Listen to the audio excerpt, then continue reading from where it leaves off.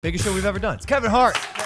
The one thing you guys should definitely realize, Dwayne would never do this. And I'm not calling him a bad person, but Do you think you missed a major shot when you lost the entourage to Bow Wow? absolutely. Who knows where I would be if I Come on. Who knows where you could have been? I thought I was tall, so I got around tall people. My crew was all the same size. I was like, this is good. And then I got around tall people. I was like, oh, shit. Have you heard about men getting four inch leg extensions? And then are you considering that? No, it's the stupidest shit We're ever. doing it. Nobody's going to think you had a growth spurt. You, you,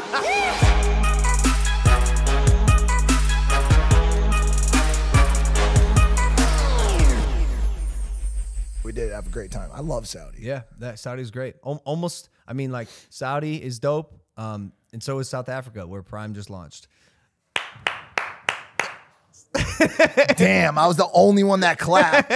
Prime's now oh, checkers in South Africa. We finally Dude, Whoa, dude, man, whoa.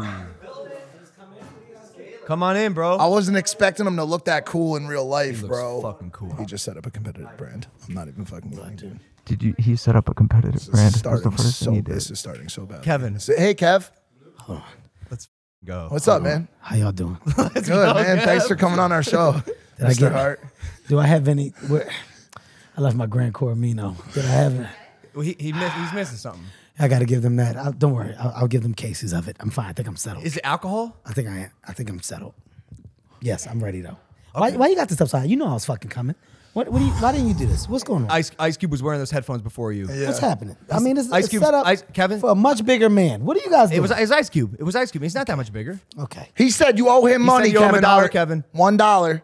He said he said he wants to wire he wants you to wire him a dollar. I probably do. By the way, you you've never talked to like a nicer person in the world. He's no nothing like you would expect, is he? Not No, he really. wasn't. He's not nothing like you would expect. Dude, No, asked, we asked him what he likes to do in his spare time. He said, think of other stuff to do. Yeah. Like it was just such an answer. I didn't even know where to go with it, bro. I don't even know what your conversation was about, but I know Cube so well. Cube is not only Cube may be one of the most genuine, uh, kindest spirits that you can be around. He wants nothing but good for other people. He loves to see the people around him succeed. Uh, and he's such a he's such a creative mind, man. Damn. Like that's that's all he does. Like he he loves the foundation of creativity and the most one of the most professional people I've worked with on the set. Damn, crazy, he, 'cause he- he was just- he, he did did not not- talk about you like about that. you. Yeah, Yeah, it was like the exact the opposite. Are you sure? Did you guys ask him? To, did you guys ask him like good questions? No, yeah, no, no. Our, Yeah. our show is shit. Yeah, I was gonna say it's got to be the interview. But he Cube- said he said y'all were real tight at one point, Yeah. and then you you became friends with um with the Rock, and you just forgot about him completely. That's why you owe him a dollar. He said. Yeah. this is ridiculous. That's what he said. He said ridiculous. What are you talking about? Cube is Cube is one of my Cube is one of my best friends in the business. Everybody knows that. Everybody knows that about me and Cube. Uh, dude, before we start, man, I want to say congrats. Um, you know, I don't I don't just come and sit and you know not taking advantage or an opportunity to say actually why I'm here. I'm here. I'm here because like you guys are doing dope shit. I'm a fan of the podcast. Thanks, man. I'm a fan of the platform. I'm a fan of the success.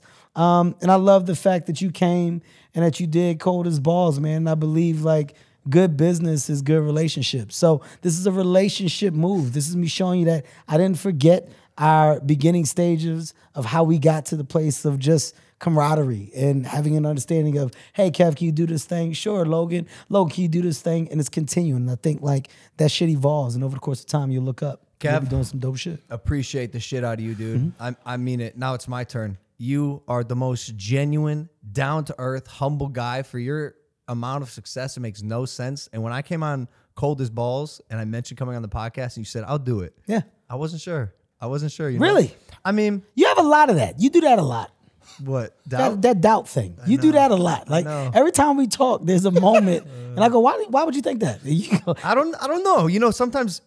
You know what? Actually, we talked about this on the show. Yes. You know how sometimes I, I, people be like, "Yo, like let's swap numbers." Like I'll give him my number out of pity. Yes. You'll just tell him No. no. "Yeah, I have no interest."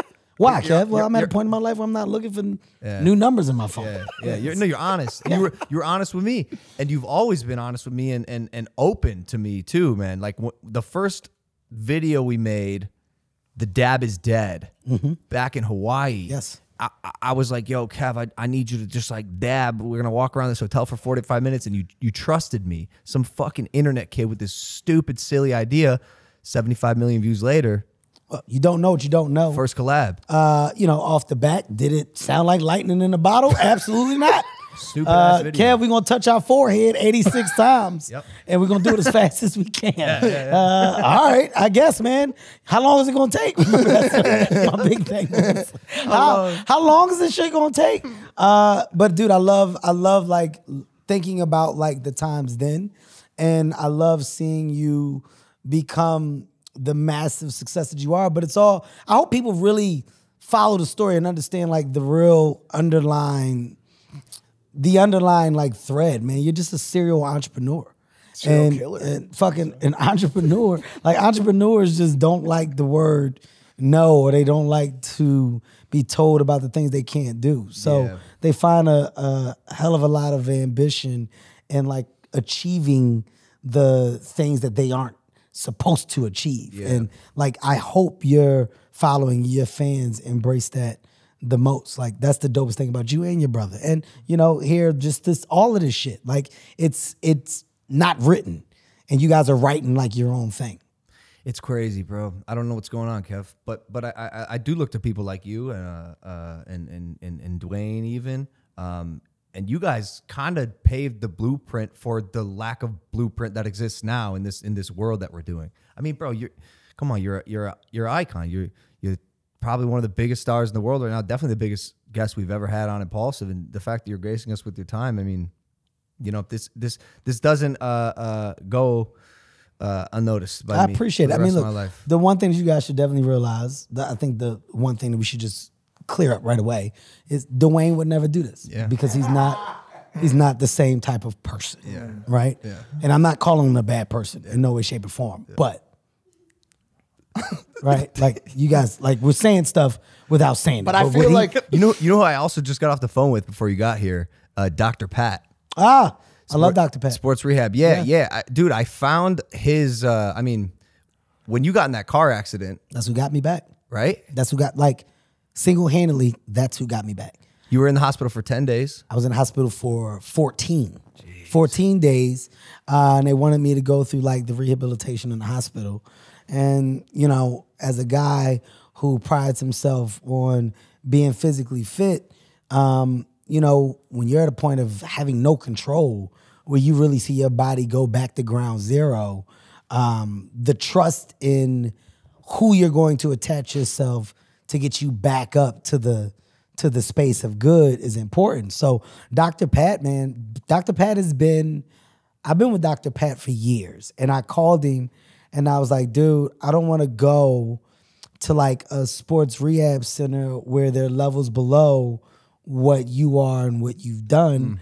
I would much rather you and I start at ground zero, be honest with me about how weak, how bad, so that I got my stages of growth. Because you know the hospital talk is different, and the um, the people there, the therapists and stuff, um, in their rehab centers are just different. And there's a different level of patience. There's a different level of of understanding, and it's all very minimal to a certain degree because you know they just want they want to make sure that you're careful. So um, I, I wanted to be in a space of comfort to be minimal, and and with somebody that I knew knew me, understood my body, and would understand the injury. And Dr. Pat did a fucking phenomenal job, man. Like It was scary. Dude. We, we, were- awesome. we were worried. We were worried about Scary you. is an understatement. I mean, you talking about. I, I remember, I remember like it got to the point where you you you have the like the light bulb of oh fuck like the things that you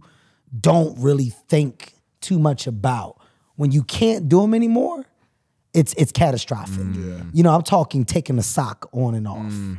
I'm talking about, you know, the the putting a belt on or lifting up a bowl or play like the things that you just do and you have no idea or mindset of how fortunate you are to be able to do them. It's it's a real it's a real fucking shell shock. What's that? man. What's that saying? A, a healthy man wishes for a million things, an unhealthy man wishes for just one. one? Yeah. Isn't it crazy how much you take shit for granted until you're laying in that bed, looking at that doctor, looking at that nurse, putting that the, the tubes in you and all that you shit. have never been more. You've never been more accurate. Speaking of which, uh, Jamie Foxx, our thoughts are, are with him. Uh. Absolutely. crazy situation over the past couple weeks with, with Jamie's health. Have you heard anything about his situation? Um, I mean, I've heard things, but I wouldn't. You know, I think I'm I'm very um, fortunate to to have the relationship that I have with Jamie and to be able to just check on him and stuff like that. So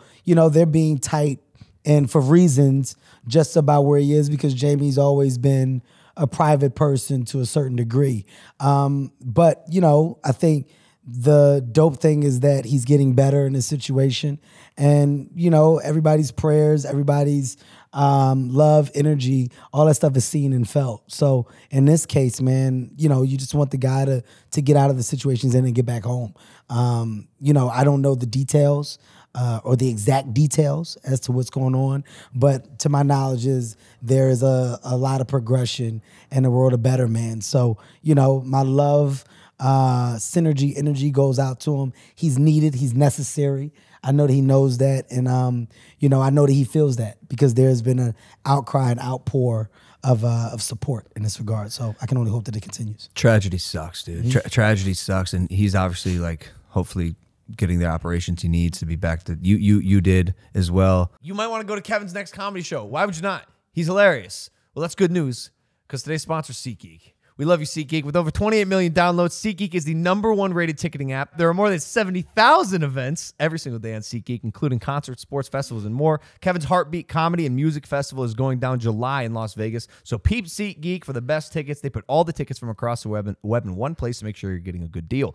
Each ticket is graded to make sure you get a good deal. Look for the green dots. Green means good, red means bad. Every ticket is backed by their buyer guarantee, and SeatGeek is the only site that lets you return your tickets ahead of the event with swaps. And you know I came for, through for you guys. We got my code Logan, $20 off tickets at SeatGeek. That's $20 off your first purchase with the promo code Logan. Make sure you click the link in the description to download the app now. Back to the show, man. Speaking of like operation surgery and stuff, um, have you heard about men getting the four inch leg extensions? have. And then are you considering that? You know, I'm gonna be honest with you, man. I don't know what the fuck is going on.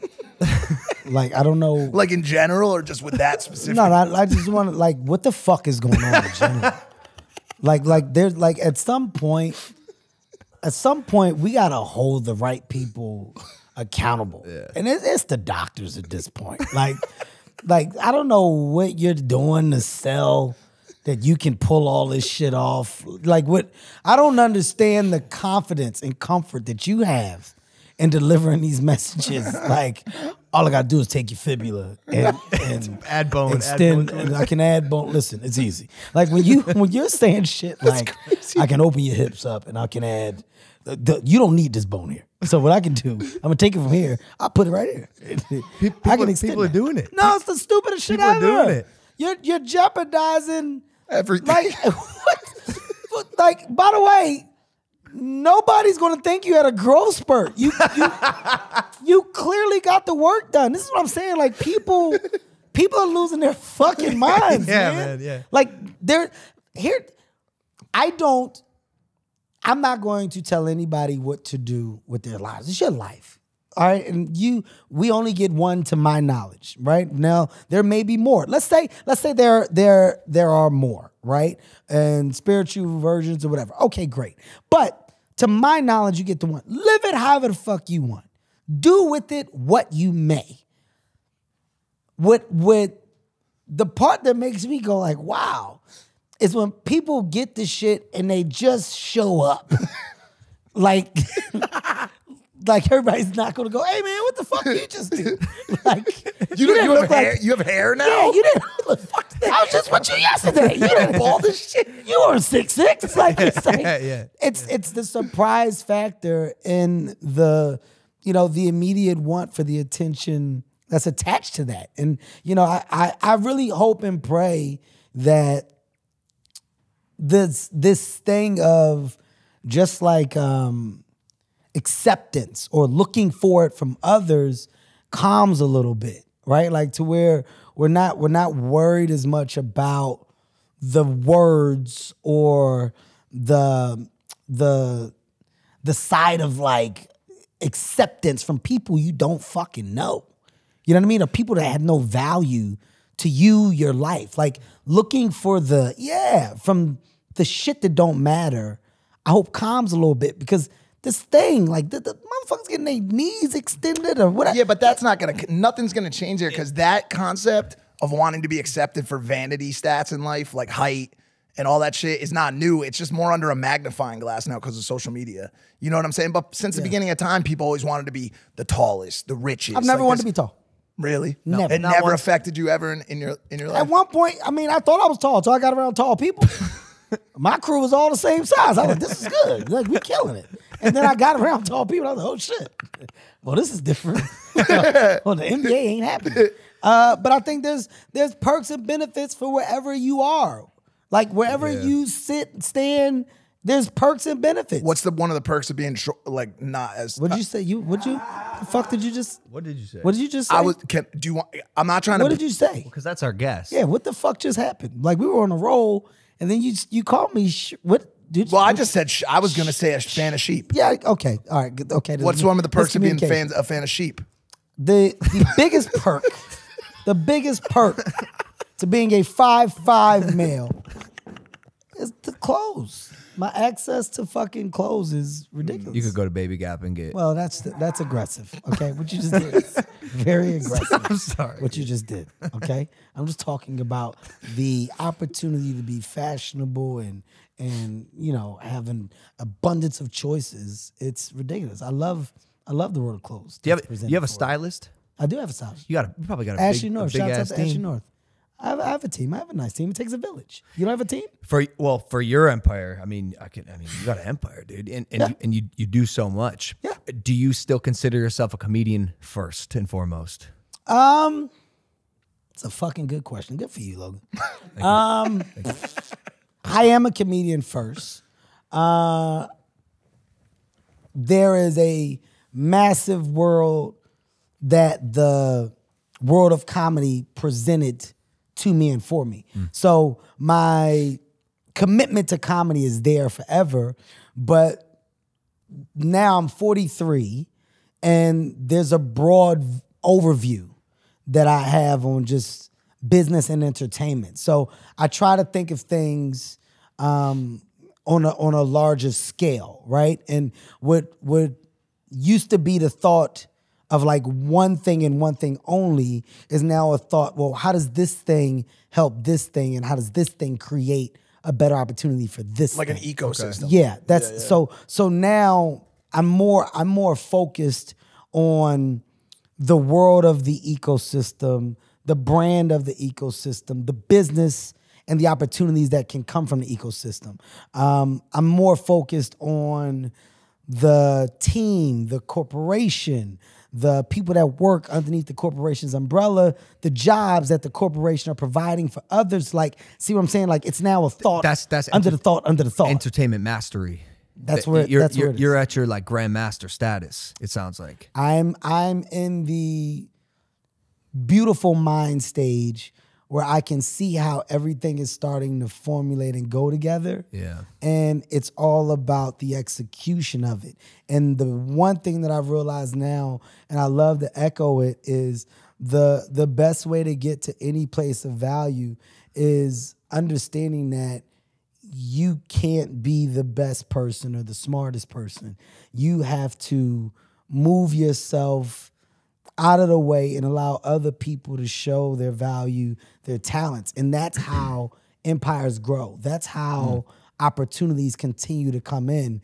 Um, and companies start to exceed expectations. It's it's riding off of the backs of the creatives, the you know the heads of the CEOs, CFOs. There's so many minds that you have to invest in and ultimately be comfortable sitting at a table with and going, how are we going to make this thing better? And as a leader, the thing that you try to lead on the most is showing that you're willing to be a part of a team. and that you don't have to control and operate everything. Mm, mm. And when Was that- people kind of piggyback off of that, it gets dope. Mm. Was that easy for you to to like accept the idea of having other people like jump into what you you might have believed at one point to be like your shit? You know what I'm saying? Like, was it always easy to delegate and to and to like sit at a table with other people and, and give that type of responsibility away as a creative? That's not always the easiest thing. No, because it's not it's not easy. I mean, dealing with people is not easy, right? Like not not dealing with a lot of personalities. Like everybody everybody has a want, a need, an opinion, um, a feeling, uh, frustration, or not, right? Like everybody has something that will ultimately present itself to be a problem. And in the beginning stages, you want to combat things. You want to argue and you want to stand on the ground of this is my shit. And if you're not a part of my shit, then you don't need to be here with my like those are the younger immature stances. And then as you grow, you start to figure out other ways to communicate. Um, other ways to align yourself with other people. And then you also gotta start to humble yourself a little bit. I was gonna say, so just the way you're talking and and, and, and knowing your career, like you you have had the uh, what I'm gonna call now privilege of being humbled a couple times. By, a couple. yeah, Yeah, a couple. Shit. yeah. I mean, li- life, life, as we said on Cold as Balls, has you know smacked us both in the dick a couple times. but you need it. you need it. like I don't like we live in a time now where people are so people are so taken taken back by the mistake. Hmm. How could what? You're fired, motherfucker. You should never work again. Life for you stops at the age 28. What the- like, like we Oh, that's so fucking stupid. Yeah, it's like if you just zoom out for one second, like, oh my god, that's so dumb. It's so ridiculous. Like you're the beauty of talking to an older individual, and I've said this before, if you are lucky enough to have older people around you, take advantage of just sitting there and listening. And what you'll find when you listen, there's not only dope stories, there's a dope like fucking overview of life and and life and the different levels that life presented that individual good bad ugly but somehow they made it to the age whatever when we're acting as if at these young ages we have life figured out and we don't need this shit up here we don't need your knowledge, your information, your opportunities, your longevity. We don't need it because right here today, we deem this as a no mistake fucking zone.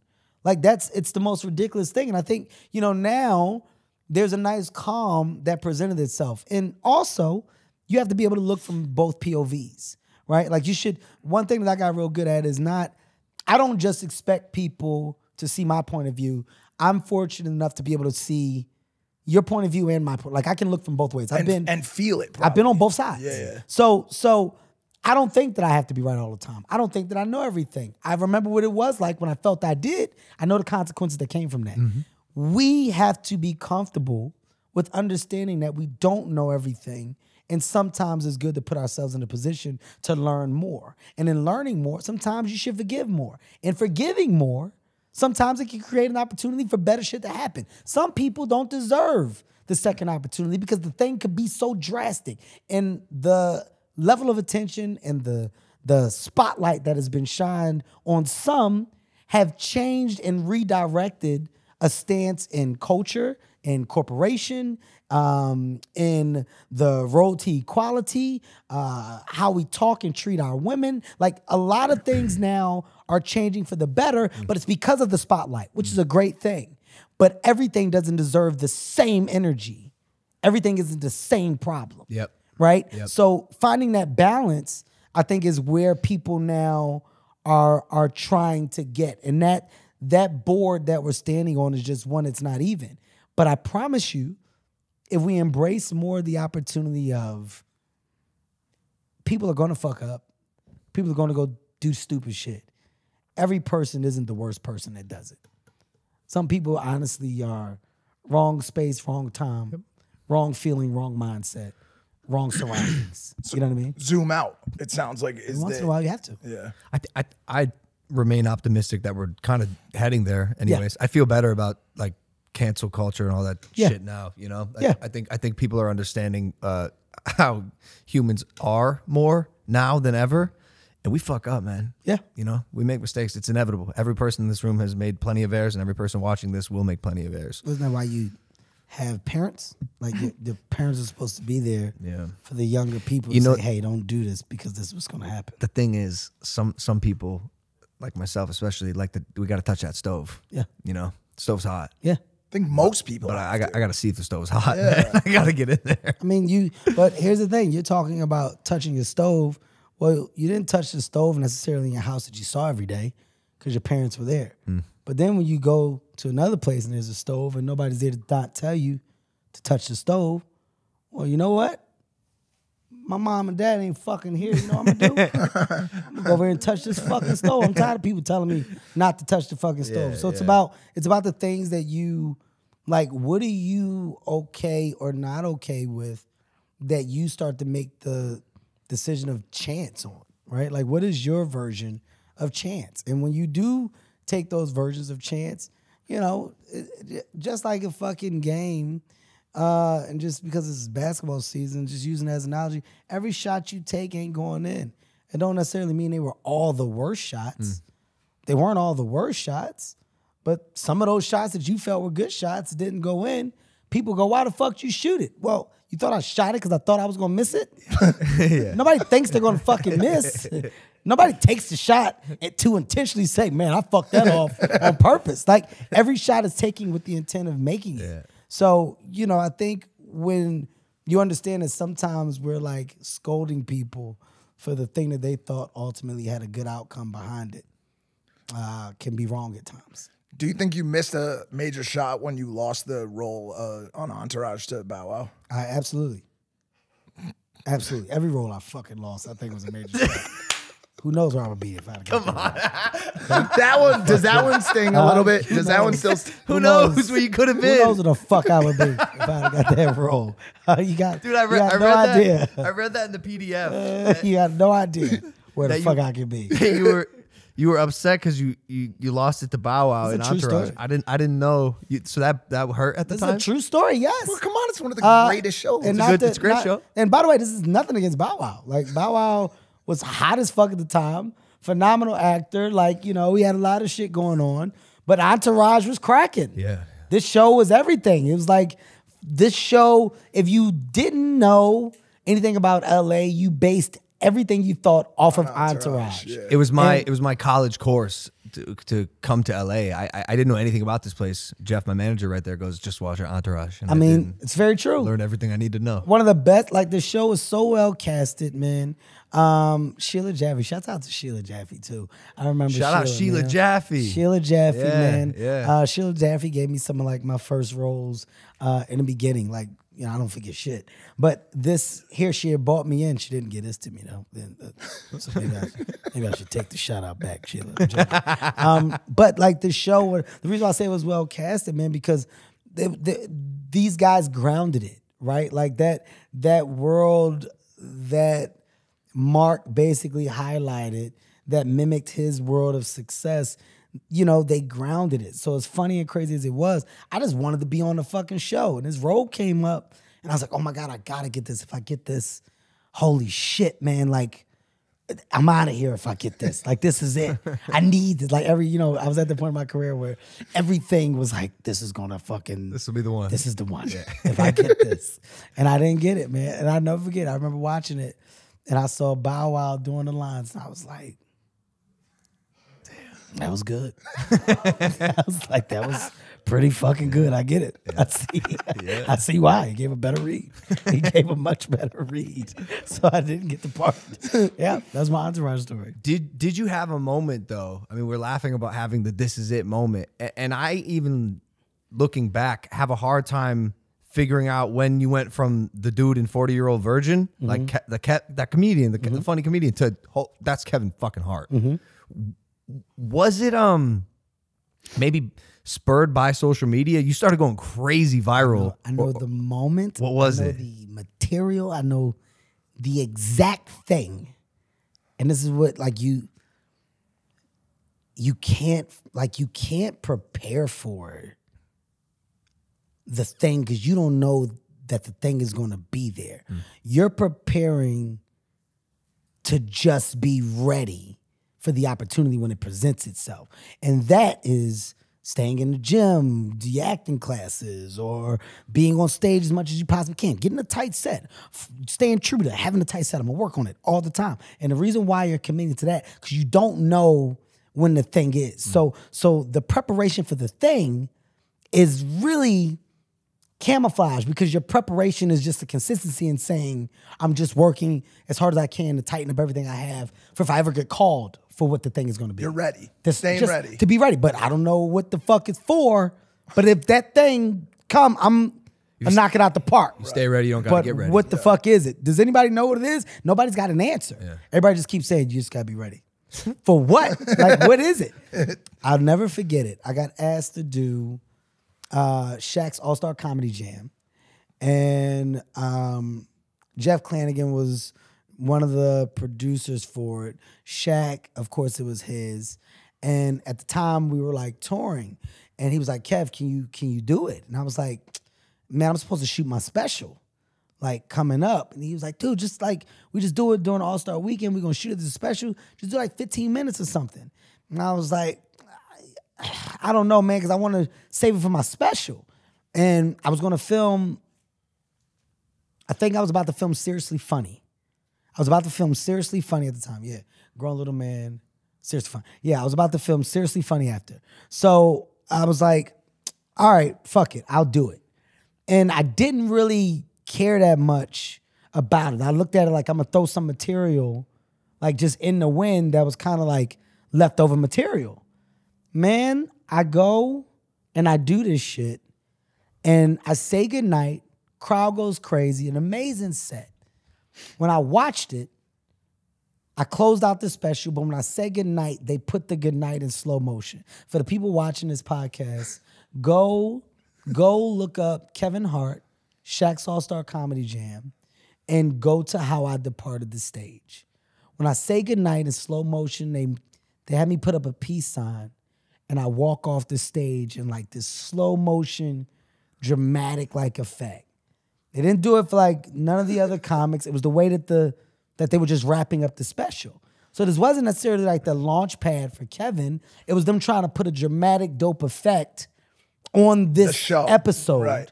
of Shaq's All Star Comedy Jam, volume, whatever. They've done several. But this moment, that slow motion, that walk off, the shit hit Showtime and fucking boomed. I mean, took the fuck off. This is when social media was starting like to not like go crazy, but it was like people were on social media. You had things that you could like talk on and stuff. Oh my God. This conversation about me and comedy and Shaq's All Star Comedy Jam. Wow, that's crazy. Keep in mind, I didn't care about that because I'm about to tape my special. Hence, I taped my special. It just went off. Everybody was teed up to watch Seriously Funny because the Shaq All Star Comedy Jam got everybody's attention. Ah. The slow motion made it, oh God, that's the, oh shit. Then Seriously Funny came out and then it was over. But then, but then what, what? You got like 150 million Instagram followers. Like, who are these people? Where are they coming uh, from? I mean, over the course of a Are year. they bots? Well, I mean, I, I'm not on there checking for bots and stuff, so I don't even know how to find out if they I feel like they're bots. I mean, if, if they're bots, I guess they're bots. I don't, the beauty of social media is at this point, you you just have a direct line of communication um, to the people that have supported you. But my my approach to social media is now different. Like I'm nowhere near the social media person that you are. I got tons of I mean, I probably got like 260 million total followers, but I'm not as engaging and knowledgeable as you are with how you approach it. At this point, I have to go and get people to put around me to help me think about the way to engage with the demographic today because it's not the same of old. It's not just about yo yo yo hey. Uh, and holding the fucking view, the phone like this. Hey, y'all already know what it is. um, hey, y'all see it? Pancakes, eating like you. That's not it anymore. It's like a, it's a fucking business for so many, and it's a well manicured thing that people navigate and operate to the highest levels. So now it's like my fan base, well, what am I talking about and when am I talking about it? I go less now so that when I do have something to talk about, it can be I can make it a thing. But yeah, but it's like I don't I don't have the bandwidth to do it at the level that I once did. So those followers and everything over the years, that's just people that are just supporting the journey of the career and the numbers just keep growing. Um, you know, because I'm still doing movies, I'm still touring. That's the part that that I'm in love with the most. You know, it's like fuck, man. When do when do when do your numbers go down on the road? That's the scary part as an artist. Like that's the real tell. Like, oh man, oh fuck, I didn't put these tickets on sale. Uh, boy, they, they ain't moving at all, huh? Y'all say, did we, did we announce it? We did? Okay.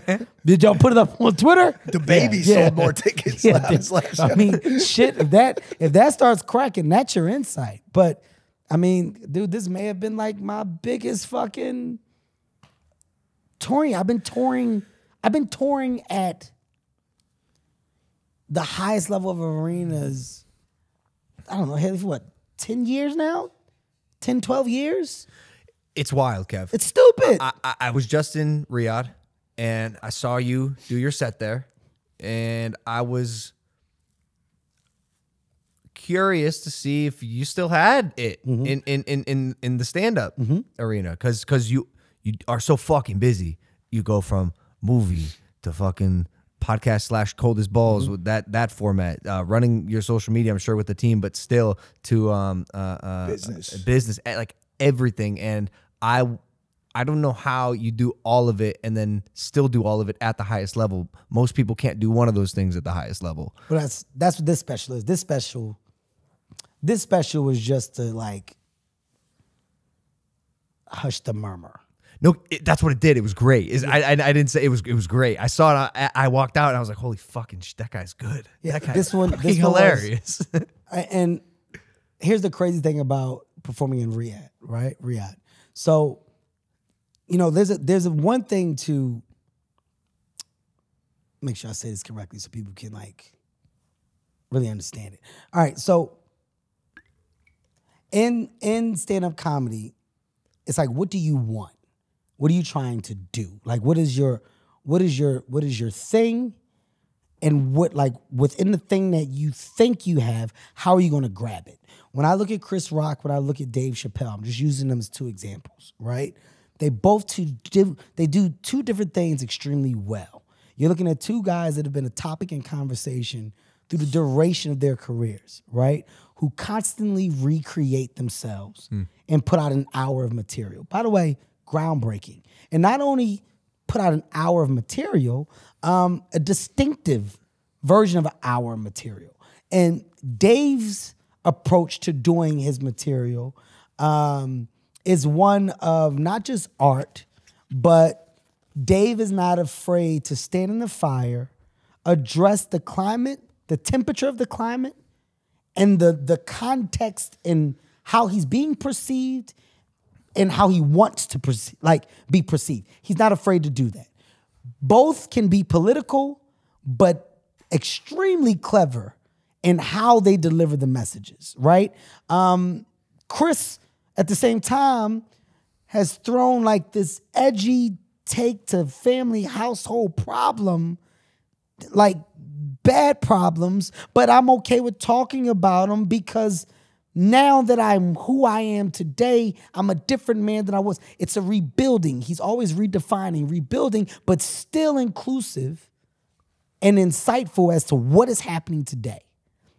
My shit was I said, yo, I want to fucking, I want to appeal to the world. How do I get to the world? How do I build the fucking brand in comedy that allows me to travel the world and put me in a place where I don't have to change? By world, I do mean fucking world. You're talking about me being over there in fucking Saudi. not adapting, not not conforming, not changing. I, I wasn't sure if they were going to understand your jokes or even be allowed to laugh at some of them. change a thing. Yeah. And you can go from Bahrain to Germany, Australia. I mean, you go down the list. Like when I say the goal is to make the world laugh, that's the goal. So to get and obtain that world of brand like ability, you have to appeal to the world. You have to appeal to the mass brand like partners, producers that can put you on the biggest platforms to light up the room to get in the room. So my plan to get there, it was well orchestrated. Like that's not a mm. it's not a fucking accident. So in doing it, my choice was go heavy family, go heavy kids. Human. Everybody has it, mm. Kevin. Let's hone in on this. As you do that, the world that grew with you and that watched you from the beginning, well, some of that world will go, oh my God, man, it's fucking, he ain't the same, the edge. Where the fuck is it at? Man, he ain't doing well, you're you're not privy to the big picture, the big goal. And by the way, that's not a you problem. That's just you not knowing what I want, what I'm going after. So after getting there, I said, you know what I'm gonna do? Let me let me just give a a, a reminder and just show you that like whenever I want that flick of a switch can be turned on. Like it's not an accident that the comedians or performers that do it at a certain level, that it's only a small group that operate at that level. Like it's not an accident. Yeah. Like they're very honed in on their craft. They know what they're doing. Male, female, the the conglomerates that share a high level of success, they know how to operate. And I can go down a list. There's a list of a good 20 that operate at the highest level every fucking year. And people come out to see them every fucking year. It's because that foundation, that goddamn audience, they're married to them. They're not going anywhere because they've grown with them. That's what comedy does. So occasionally, you give the insight in the moment of a reminder. And that's what this one is. This is a reminder.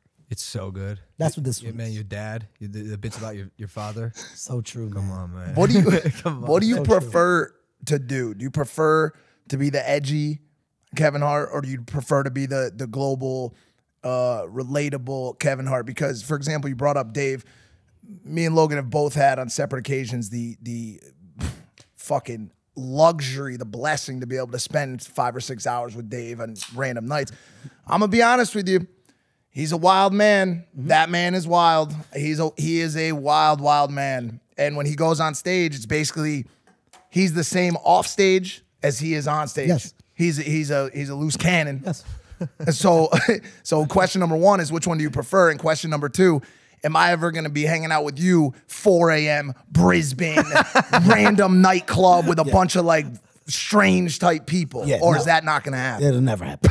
yeah, yeah. Let's just nip that in the bud right now. It'll never happen. By the way, it means I'm on drugs. If, if, if I'm there, I'm I'm at rock bottom. Okay. Uh, Dave made a career here's, out of it. here's what Dave is. Here's what Dave does. And this is what Dave can do. And this is why you gotta love Dave, right? Fucking one of the he's my brother.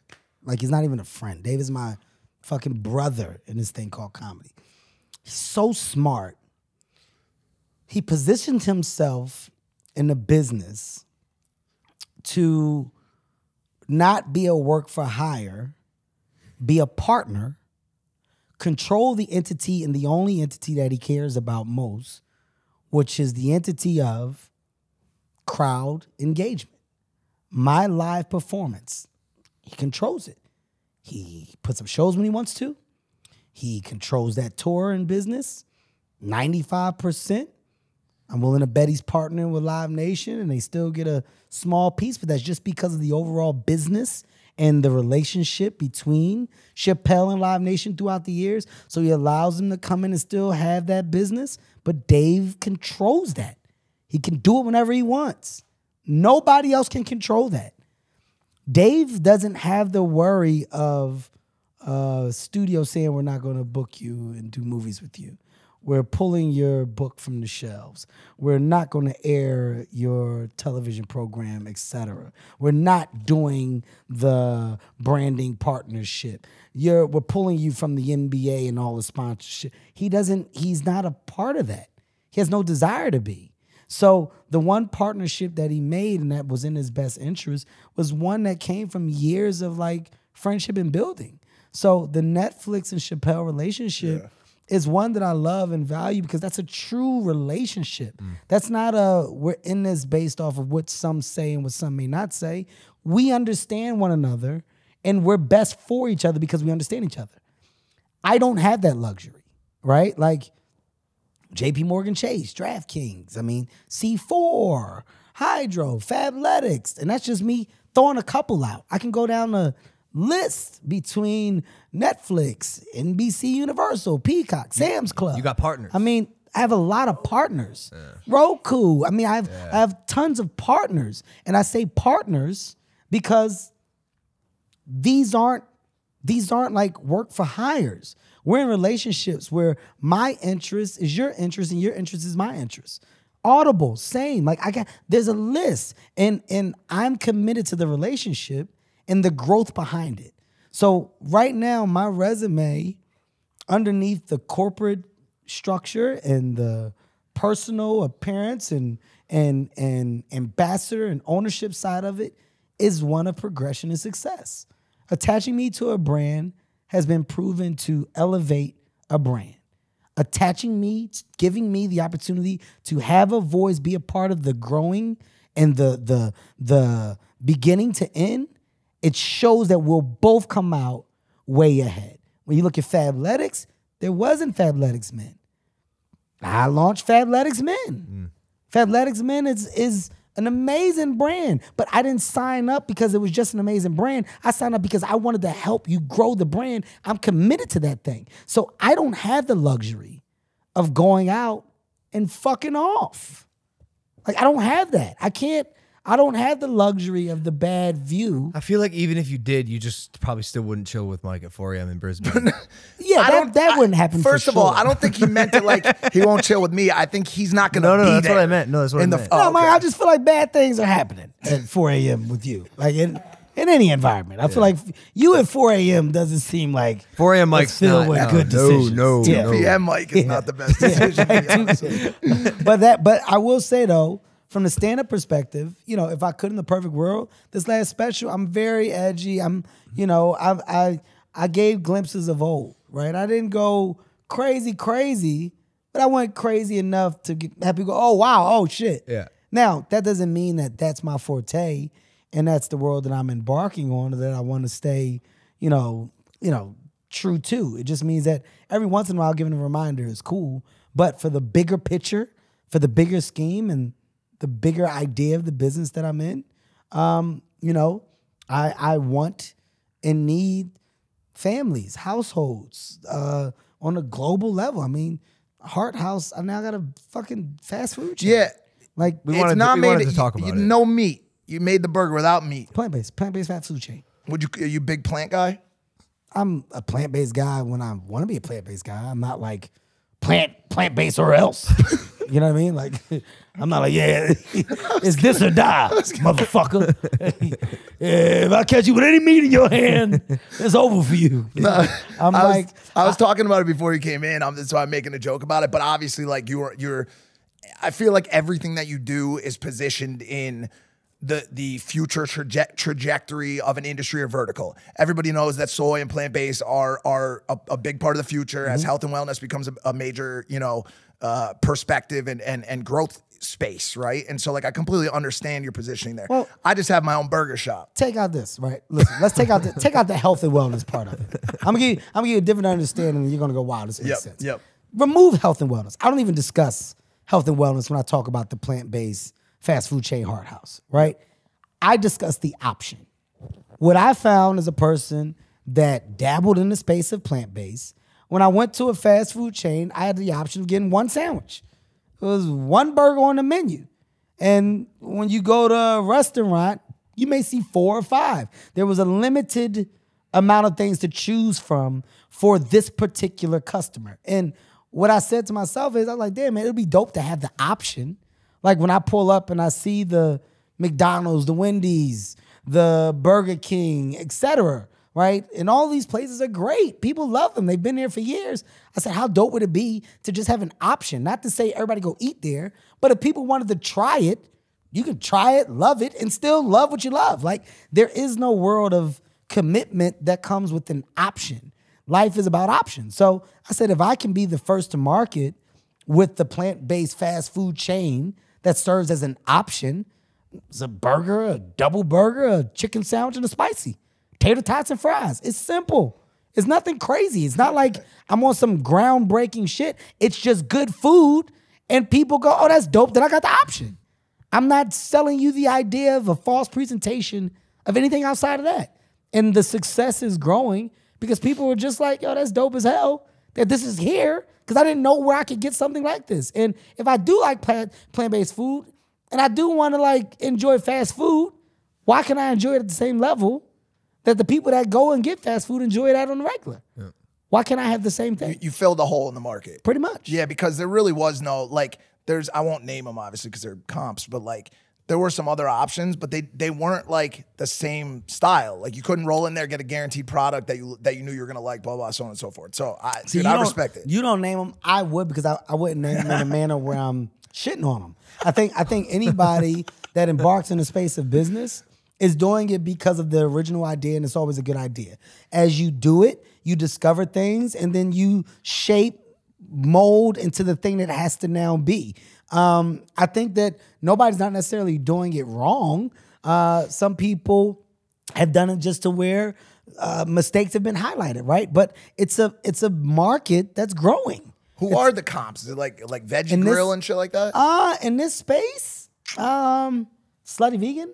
I know Slutty Yeah, Vegan's yeah, doing they're doing a great job. Um, they were in Atlanta, and I'm I'm a fan of Slutty Vegan. Have been amazing. Now, is that a girl? Uh, yes, it's a it's a woman, a woman that that owns it. I And feel like there's a ton of those in LA. there's Not the restaurants. I don't know. Like, uh, I know that I know that in Brooklyn, I think she opened some. I know in Atlanta, she's been doing great business. But I love that it's just a business that's promising and growing. Like where people people really sometimes tend to think that there's only room for one thing. Right? There's only room for one thing. Yeah. Logan, you got your prime in your hand. I don't give two shits. Well, they told me I couldn't set it on the table. But, but you listen, it doesn't matter. Can I? Let's. Who cares? It's what- okay? yeah, but like, what? Don't do do they it. think Don't we're do gonna it. fight? Do But do they think we're gonna fight? I don't know. I don't know. I was told. No, That's they want to fight. Listen, but that's my point. Like, there's. It doesn't matter. Like, you are building a foundation that stands, and yet people are responding to it. That's dope as shit. So I can't put it on the table. I I don't care. That's, He's not saying yes. I'm gonna I- do it. I would put it on this. put it on Put it on this table. This one. See, not, not, this- not, not, not, see, not that one. This, This, is one. the context and what I'm speaking on that acts as a problem in today.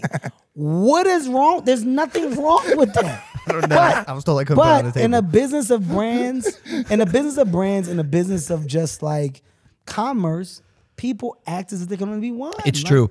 Gary Vaynerchuk put this in a very nice context that I love. Everyone thinks it's uh it's an or world. It's an it, this or that.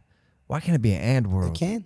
It can. And this and that. but it's only that only exists for the people that process that for the people that process and understand like we're, we're telling two different stories your story behind your product is different from mine i love your story i love the fact that y'all two did it together hey man i'm rooting for you Thanks, man. the world of what i'm doing with c4 and my reason behind that is a completely different thing where we're going in business and our trajectory and product is a completely different thing so yes you share the same space and the overall title So, sort of. but you don't but yeah, you don't but yeah. it doesn't matter Yeah. and that's that's the thing where i find comfort Mm. i find comfort in understanding that world Let me ask you though. Do you ever feel like you've diluted yourself? Because you, you do do so much. And do you feel like you've spread yourself? not as many as Snoop thin? Dogg. Well, Not think- as many as Snoop think Dogg. about No, no, but no, but think about it right I, I I feel like you're super hands on with all. You're, it's a you're you're a partner to the, the Yeah. all the products you just. oh i don't know the word of snoop right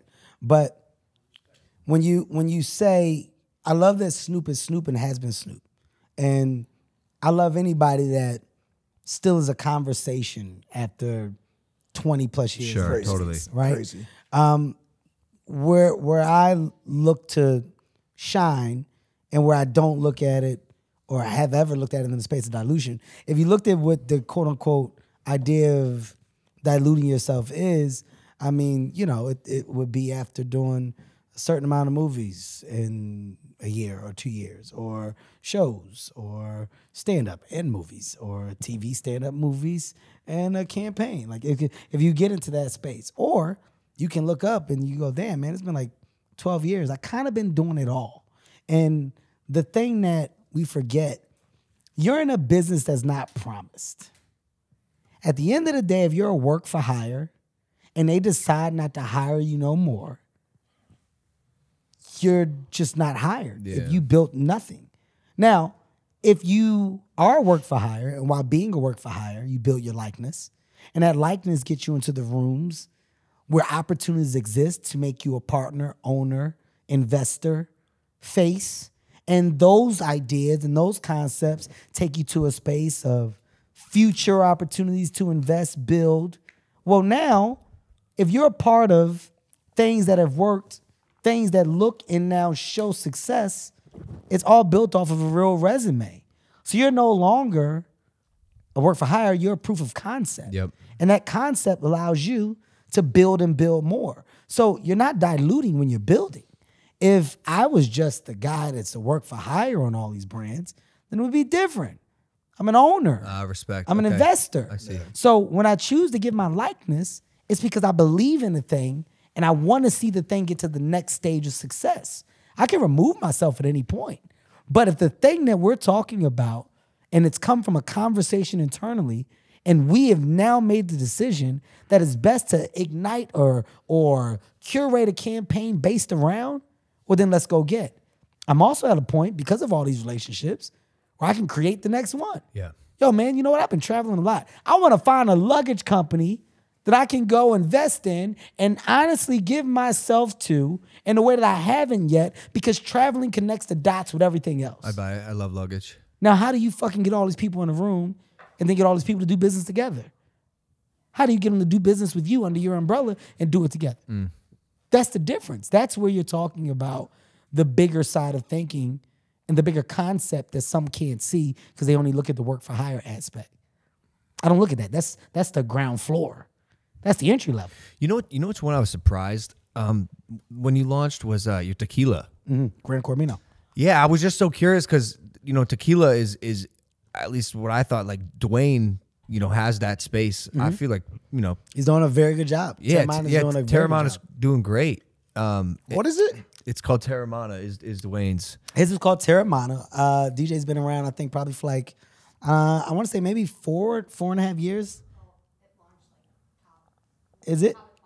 Top of 20, right? So, so I was So- I was just curious because you know he, he had been crushing in the Mm-hmm. space and then out of nowhere you la- you launched one like Mm-hmm. like you didn't you didn't look at the mountain that was Dwayne Johnson's empire and I know you guys are tight but and then uh, the tequila that was working and go damn this is a competitive space Mm-hmm. with with like a, a friend of mine who I know is power like I'm I'm gonna I'm gonna let him have that you you attacked it still Well, you gotta you you have to have an understanding like they're not one and the same, right?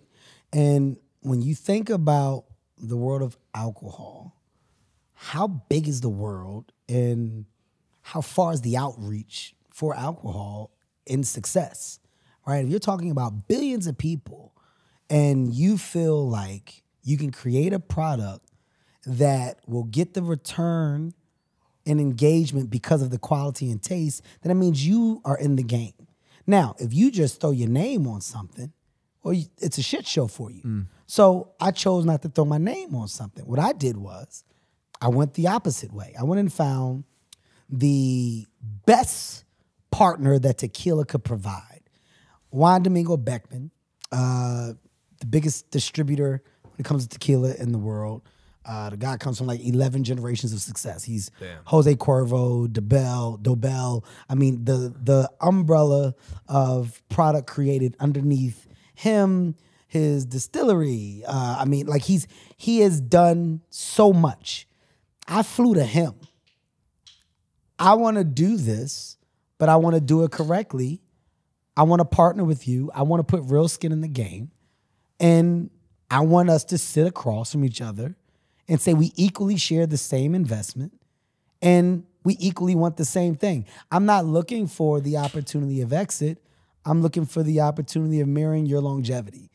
How do I get to a space where Gran Coramino can basically be generations of? How do I create that for my family? Well, I do it by attaching myself to somebody who's done it right. So I went and fucking took four years to develop. It took me four years to develop my tequila. Our Cristalino was first. I did Cristalino because I said, right now within culture, the idea and understanding attached to Cristalino isn't clear. People don't know what it is. People think of Cristalino as a Blanco. You don't know that it's a premium tequila that's available. That premium tequila that's available is at a price point that most couldn't afford. The ones that were not at that price point, people have no desire or want to even touch it on the shelf because they don't know what it is. Oh my God, what if I take that premium price point, bring it down to an affordable price point as my entry?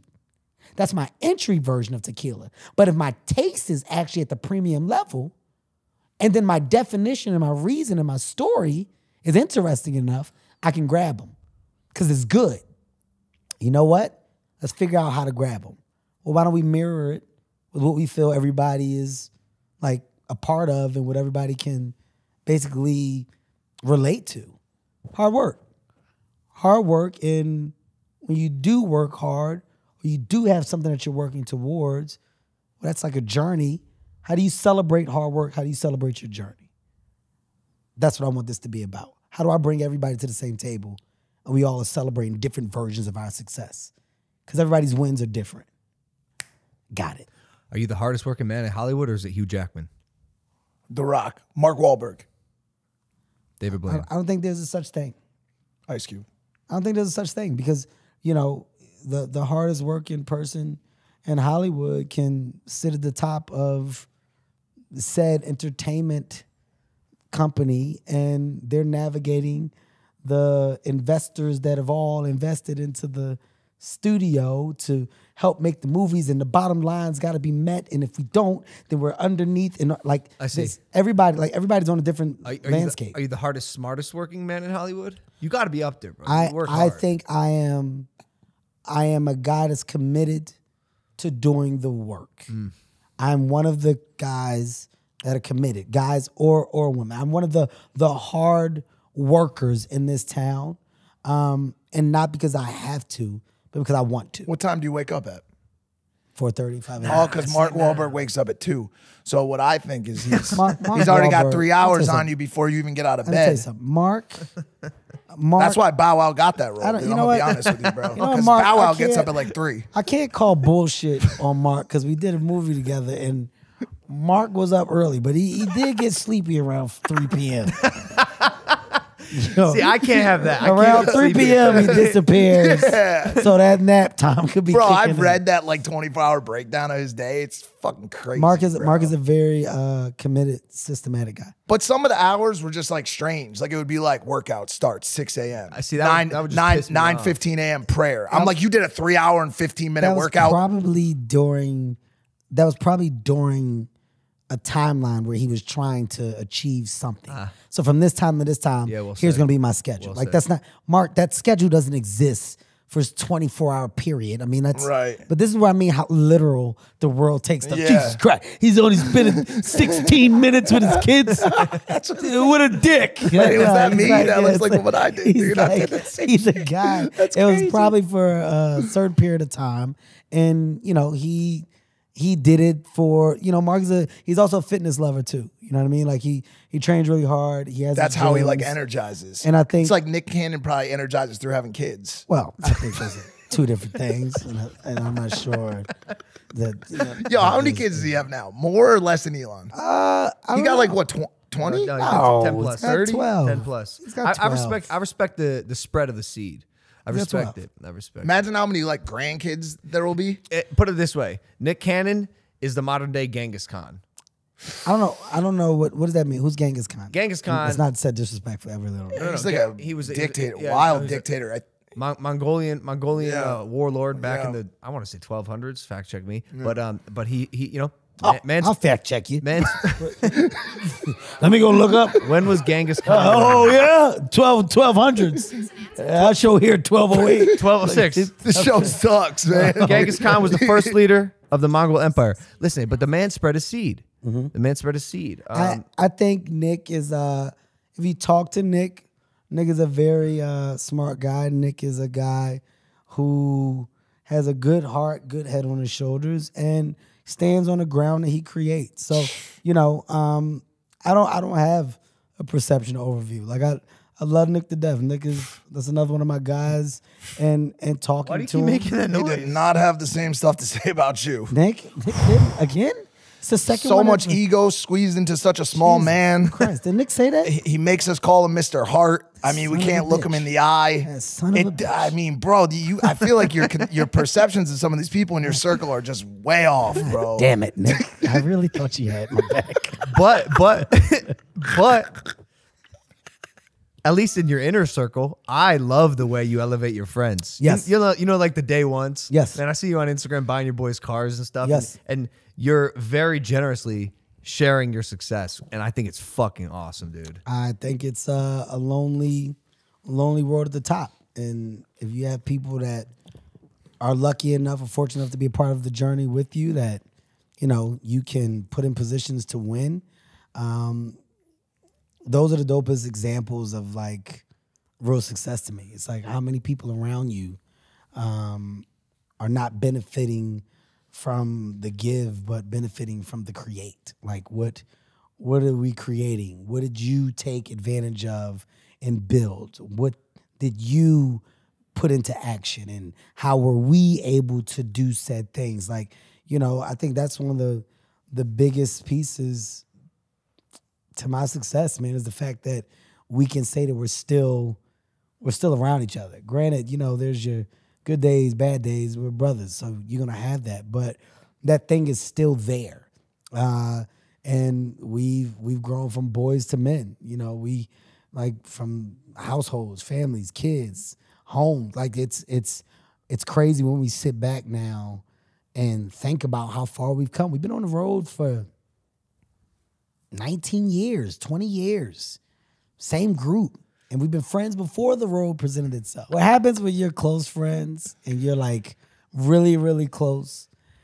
The idea of challenge, it it starts to appear more than like not like you know because if if one person is at the top you find yourself delegating or talking a lot and over the course of time to your friends to your brothers they build up a thing where like they don't want to hear that shit. Yeah. and you don't know shit.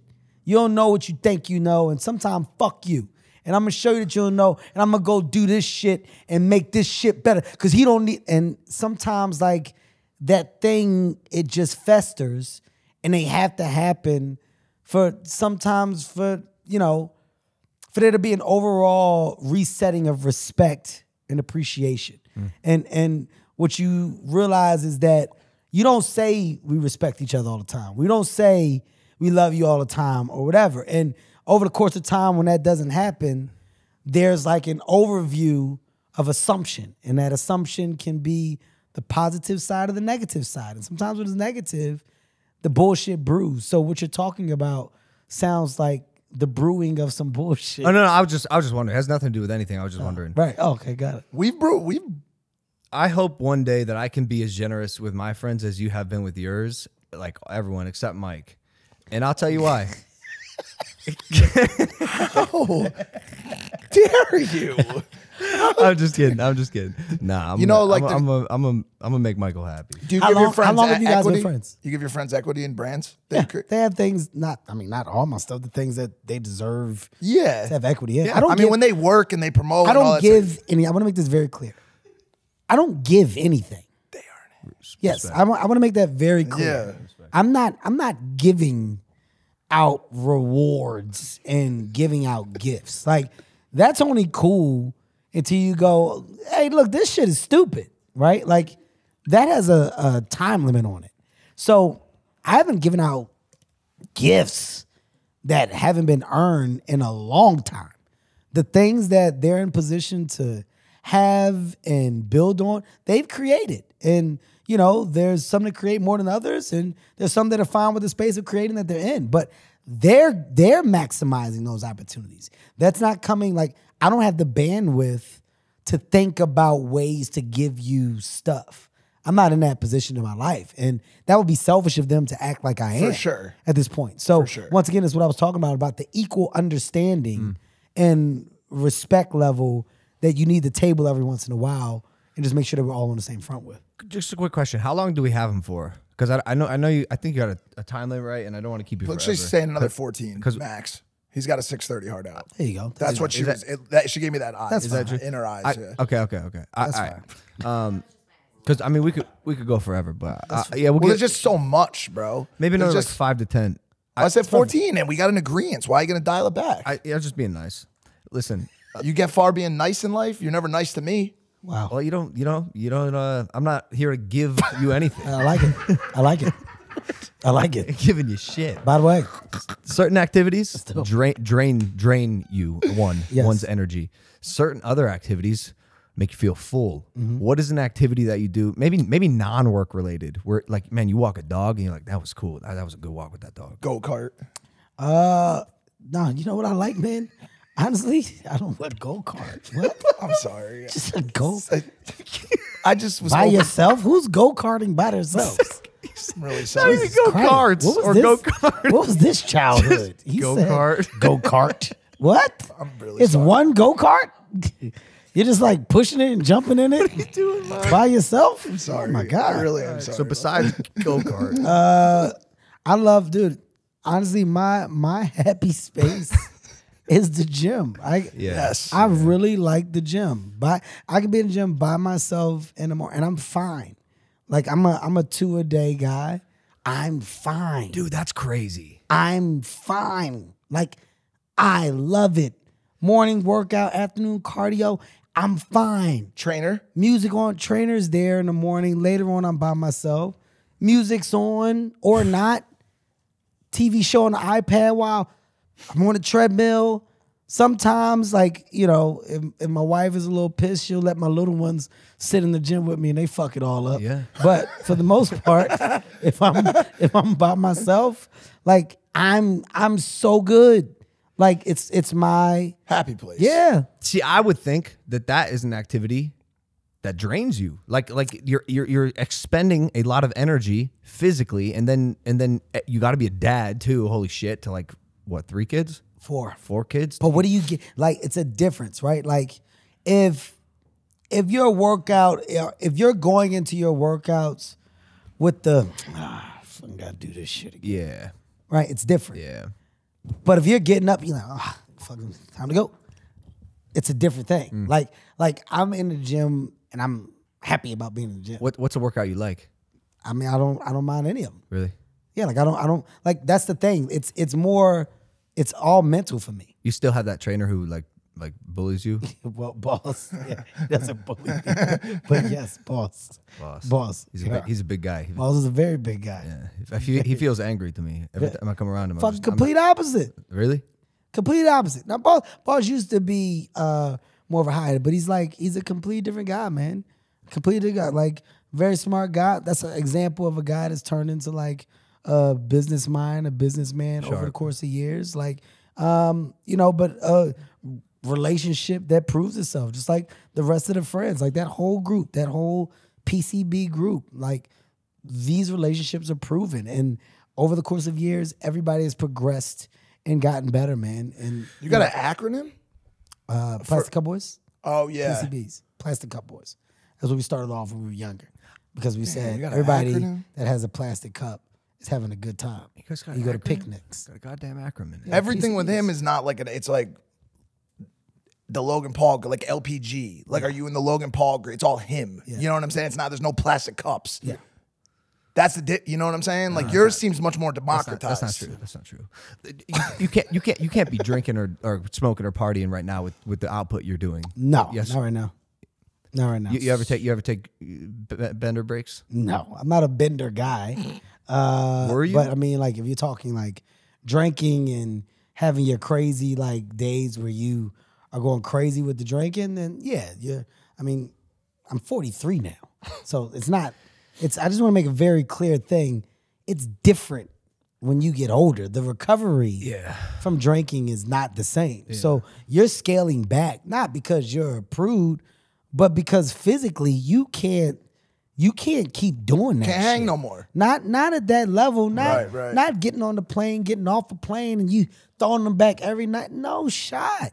No shot. And I'm gonna be honest with you, that shit start to age you, man. Yeah. You start to look fucked up. Like I've been around some people that's like 28. Oh, you 28? God damn.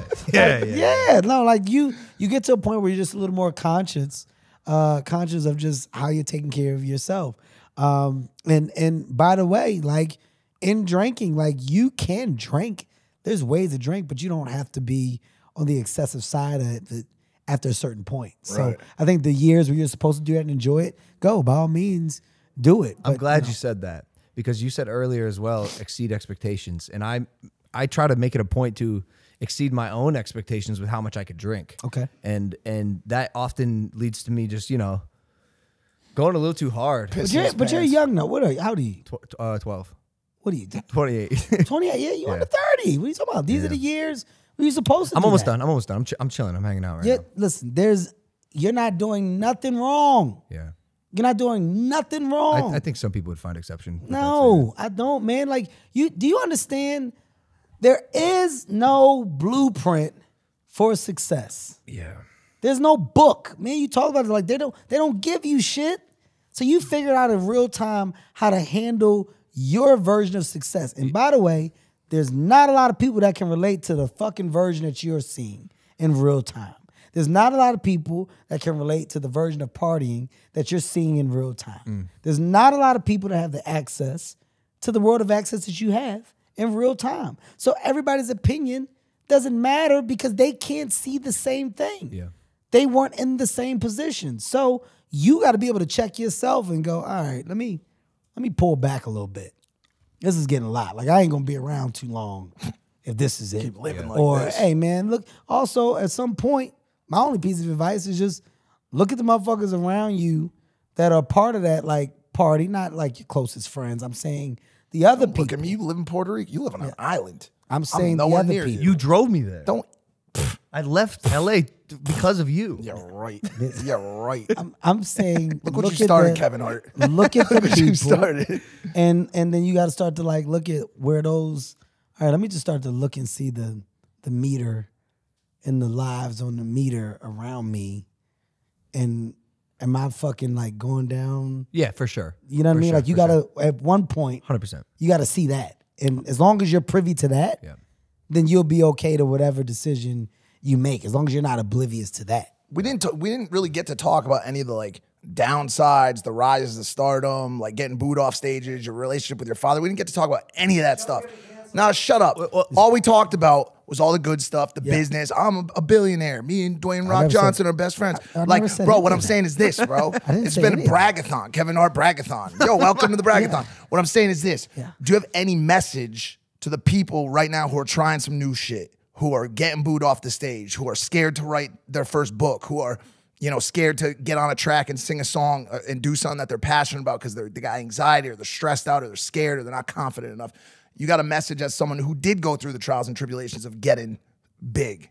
Uh, well, first thing, you know, uh, accountability is huge, right? And when I say that, I'm referring to the questions being asked right? Like you, was a joke. you have to take accountability.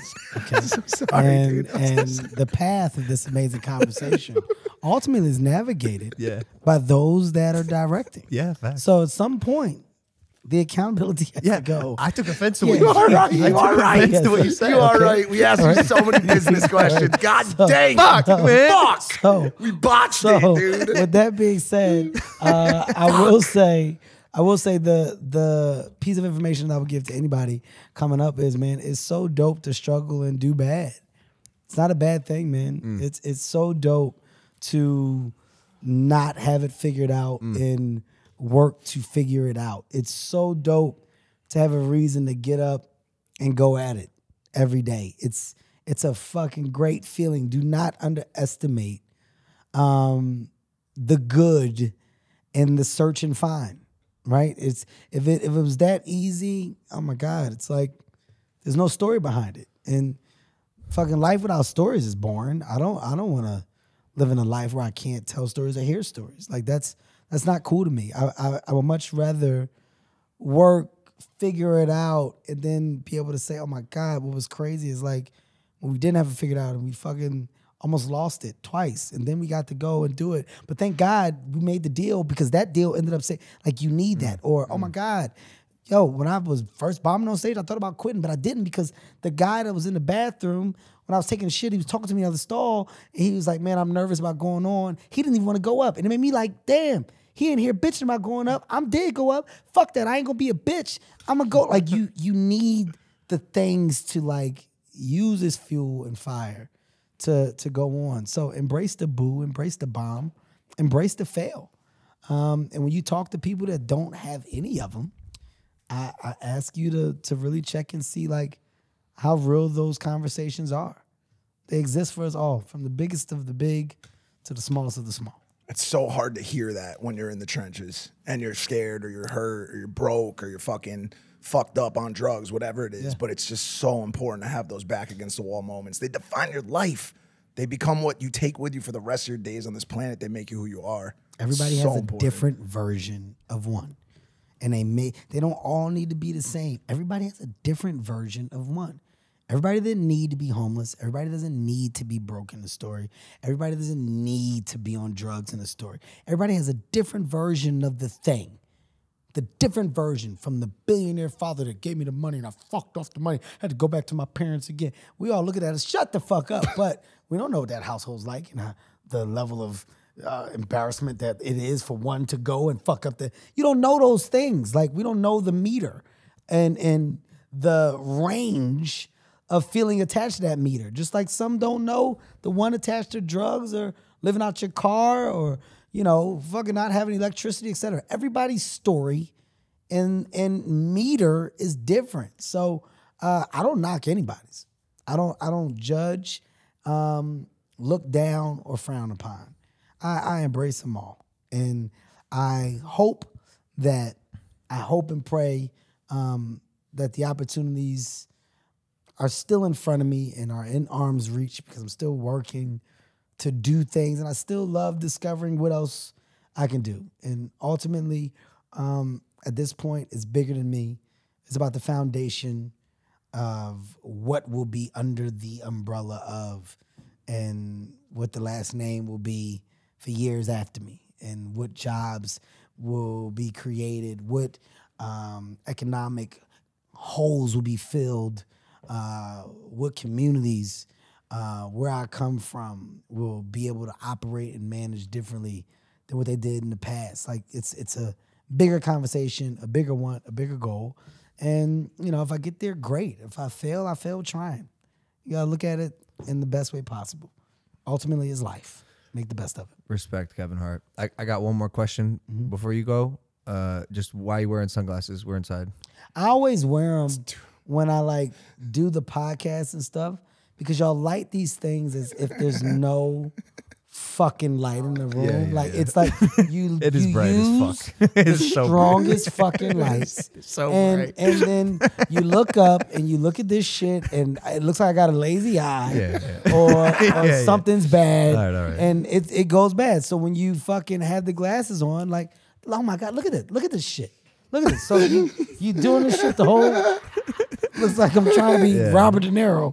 Yeah, so, so that's when I said. uh, So what did I tell you? the other year? Was it? Okay, Kevin's, Kevin's on cocaine. No, I'm not. They got fucking seven goddamn Yeah. chicken heating lights. it's it's too much. All right, all right. No, He should hit Hart Beat 2023 real quick. oh yeah, yeah. Hart Beat 2023. What is it? Where is it? And who, who is in? in Good question. who's man. involved? You- you- you Great really- question. You really picked it Do up. you like go kart? Do you like go karts? After, yeah, after the go kart question, you really picked it up. Just Mike. crushing it. Uh, Hart Beat. Um, in a perfect world, you know, we are an independent studio now. We are a partner to so many. Um, you know, creating, developing IP. um, that's putting us in a position to grow, to scale, and be a part of the bigger conversations that are happening today. So, from the world of television, scripted, unscripted, film, um, you know, TV, uh, literature, advertising, um, you know, we are we are a full circle. Um, and within the circle, I can only hope that we continue to grow, we continue to onboard amazing talent, creative talent, and be responsible for the new faces of tomorrow, right? Nothing would make me happier than launching the next stars, right? Or giving the platform for these stars to be seen, or their material to be read, or the opportunity for the new director to direct. Like, you know, ultimately within Hart Beat, it's it's how how am I making it a cool thing again to discover the new because we forgot that. It's attaching ourselves to the things and the people that we know work because that's where the business makes sense. But there was a time where the conversation of your new comic, your new face, male and female, whatever, um, was one that people focused on a little more. So in our business, you know, we really are we really are driving towards um, getting back to the times of old that were just forgotten in the days of new. And if we do it correctly, we'll we'll have a lot of success. I'm excited about the projects we got on the way, tons of them, um, and these are inside of myself and outside of myself. So, uh, 2023 will be bright. 2024 will be brighter. Let's go, Kevin Hart, ladies and gentlemen. Thank you, man. Bro, Good Kev, job, thanks guys. for coming on this podcast. Good job, That man. was that was that was so much fun, man. No, man, I, I appreciate you guys ending it on a positive note. Yes, sir. Uh, keep going, dude. Like I love I love that, you know, it's just undefined. And I love what you're doing in the the WWE. I love what you're doing here within podcasts. I can only uh cross my fingers and see what you do next, right? And I, I think that you're a great example just of like how dope this generation is Mm. in creating what the fuck the version of next is that they want it to be. Thank you, man. Like that's a dope thing. So keep groundbreaking, keep doing what you're doing and putting your guys in positions to win as well. Yes, sir. Um, but a lot of people are watching. So it's not just me, man. Yes, sir. A lot of people are watching. Don't fuck it up. All right. Hit that subscribe button. Hit that freaking subscribe button. We'll see you guys next time. Take it easy. Peace. Before you leave, can I have you look at that camera? Just give a couple different facial You expressions. do one without nice. Yeah, yeah. I'm gonna move this mic. got you, buddy. Yeah, there you go. just, just, and, and you can smile. You can squint. This one, this one, this one, this one, this one. Wrong camera. Yeah, open your eyes. Camera, Kevin. no, no, no, Kevin. No, no, no, no. Just the one to your left. It's to your left. Just. Son of a. Fucking. Just this one. With the with the good looking. Yeah, yeah. That's perfect. That's that's exactly what we need. no, that's good. That's good. Yeah, we got it. Yeah, we got it. Yeah, that's good. That's, we're we're gonna run all that.